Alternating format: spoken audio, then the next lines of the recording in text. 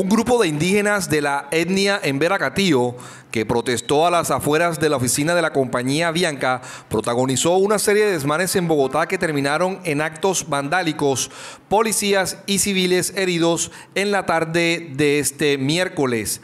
Asimismo, se reportan a varias mujeres de esa etnia lesionadas en medio de las trifulcas.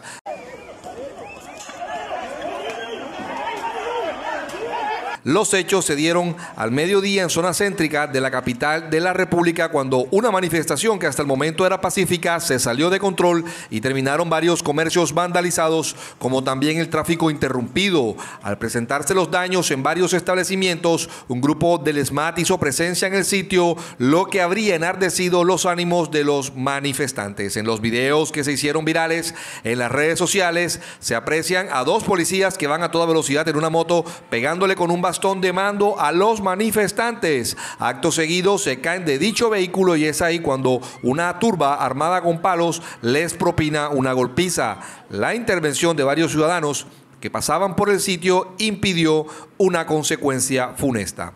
En otro video, un auxiliar de policía es sacada de una estación de Transmilenio por un grupo de manifestantes. En otro material fílmico se aprecia a un grupo de indígenas que ataca con palos y piedras a un grupo del SMAT que está arrinconado en la parte exterior de un edificio. Incluso hasta los gestores de paz y convivencia de la alcaldía distrital de Bogotá fueron apaleados por varios indígenas cuando pretendían mediar en la situación.